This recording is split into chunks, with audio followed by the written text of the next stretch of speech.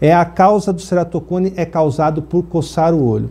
Nós temos a causa genética, que a pessoa nasce com esse gene que tem que leva a ter o ceratocone, e nós temos a causa é, é, de, do esfregar no olho, coçar o olho. Então, o, o ato de coçar o olho é, é, leva o ceratocone. Então, o que a gente, nesse junho violeta, que foi desenvolvido pela Sociedade Brasileira de Oftalmologia em 2018, junto com o Dr. Renato Ambrosio, é, do Rio de Janeiro, eles, eles queriam fazer uma campanha que conscientizasse a população que coçar o olho leva o ceratocone. E o ceratocone a, a, começa a piorar a visão. E não adianta óculos para melhorar essa visão.